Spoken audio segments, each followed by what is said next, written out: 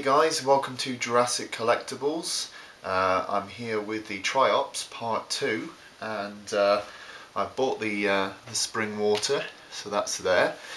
And um, I've taken the Triops mix, which Gavin informed me was actually uh, already contained 50 eggs, and the, the little Tupperware container was actually the Triops food, which I don't need for three days after uh, I initially start the process. So I can safely put that to one side and I've um, put the remainder of the mix because I mean 50 eggs is way too much for one batch.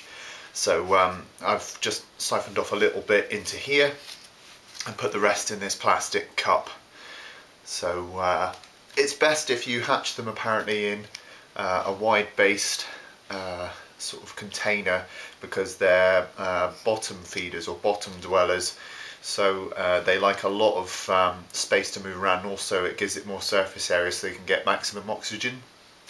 So this is like sediment mixed with the eggs. And I've just got a sort of a small amount in the base there. I've got the spring water here so I'll just undo that.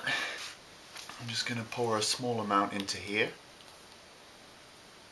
Just enough to cover it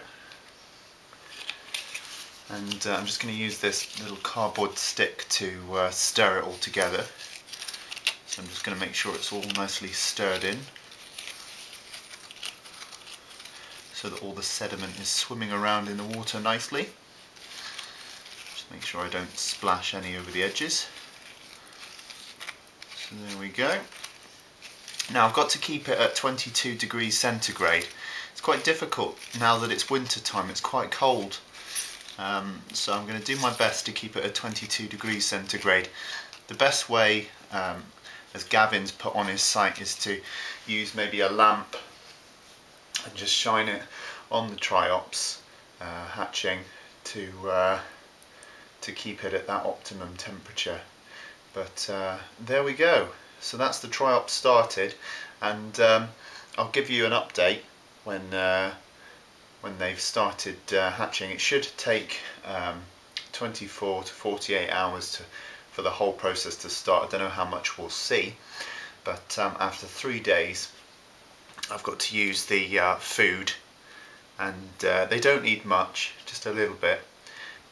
So uh, yeah, now it's just the waiting game really. I'll just make sure that's really well stirred in again. That's it, because there's some big lumps in there. I just want to make sure it's all uh, really nicely mixed. Okay, so the process has started. Welcome to Triops Park. This is the first stage, hopefully. Uh, we won't need to set up electric fences. And you can see I've put the uh, Jurassic Park gates there. I think it's nice to have that nearby, you know, as they're growing up. Um, as they're in the womb, as you say, they can kind of uh, see the Jurassic Park logo from their uh, from their pen.